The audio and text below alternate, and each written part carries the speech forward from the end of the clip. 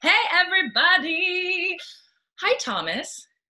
Hi, Amanda. Good to be here with you.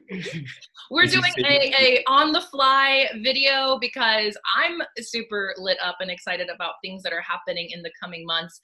Uh, I'm sitting here in Santa Monica, California. Thomas is in Boulder, Colorado. I love it. In the snow. In the snow. Yeah, it's not snowing here, but we are here because we want to share something with you that is so on our hearts and in our souls and what lights us up. And we want to share it with you to light you on fire. So, my question to Thomas is why is it important to you to connect with oneself? Why do you think it's so important to connect, to take time to connect with oneself, and then to express that, reveal that in the world? In the context of writing a book as well, right? Yeah, we could talk about that because that's definitely where we're going. Yeah, yeah, it's a, uh, it's a, it's a great question, and this, this, this is. Let me start with why it's important to connect to yourself, and as I even rephrase that question, let me connect to myself, which is why it's so important because the moment that question hits my mind, I start rattling off answers from my cognition because the question is addressed to my cognition and there's answers that are there. Yet if I really drop in and I feel my sit bones on my chair, I feel my breath, I can feel my body mind, if you will. The answers are rooted much deeper in my soul. The, the answer that comes from a deeper and more integrated truth of my being. And so if if I am going to express, whether it be a book or whether it be in a relationship, there's a depth of truth in which our audience can touch us or that we can touch our audience through. There's a richness in, in really the knowingness of where this story is coming from. Fiction or nonfiction, I don't know that part as much. That's not my specialty, right? But to really get into the wholeness of one's being and express something that is on every le- level aligned and true so that you feel complete and whole and powerful and strong that what you are sharing is wholehearted. Not only does it feel good to be able to express that but that's where our audience whoom, is captivated. They're drawn into like they're drawn into who we are which means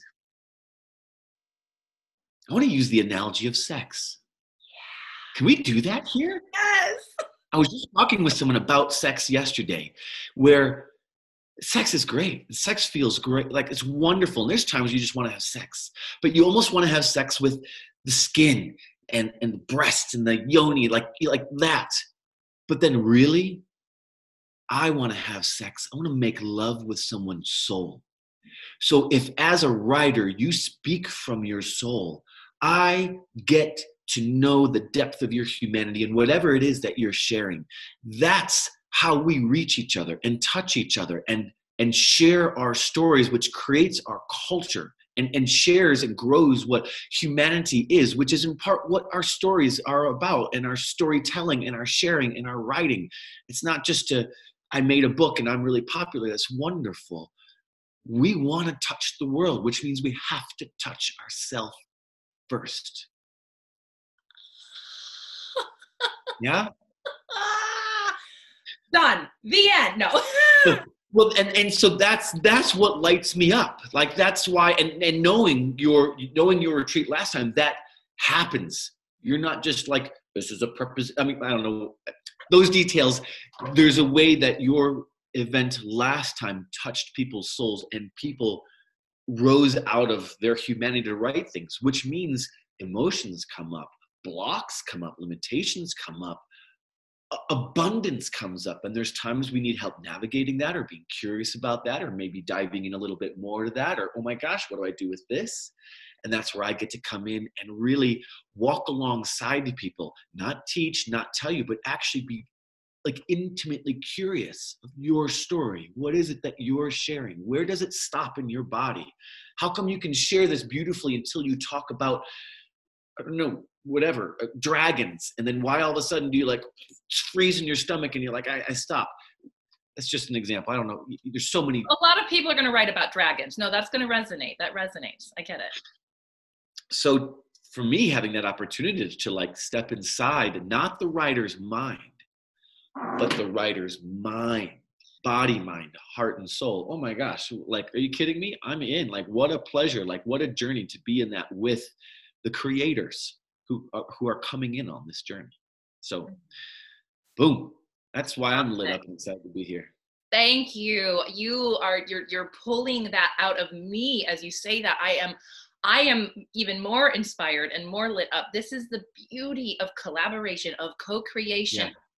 Anyone watching this, specifically those souls out there who have that call who know they have that story to share who have that book to write or or they don't even know if it's a book but they have they have this yearning to to go within first so that they can then go without and express it into the world from that soulful wholeful place.